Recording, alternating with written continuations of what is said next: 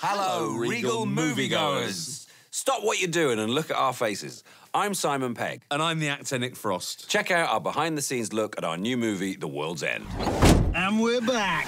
Just like the Five Musketeers. Three Musketeers, isn't it? Well, nobody knows how many there were, really, do they? We're there, yeah. Let's do this!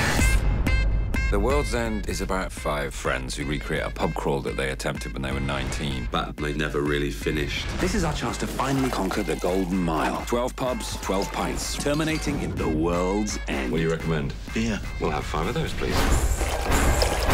Four of those and a tap water. What?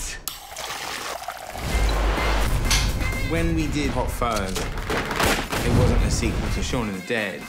When we started writing The World's End, we thought, well, actually, maybe we can make this a trilogy. Well, it's weird, isn't it? You come back and everything's sort of different. Is that because you've got older, or has something else happened? It's not us that's changed, it's the town. Oh, Welcome home, boys. Newton Haven has been taken over by robots. It's immediately funny. It has a great rhythm to it. We've got blood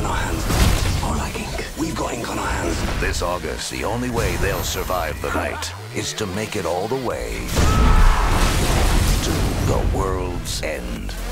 Oh no!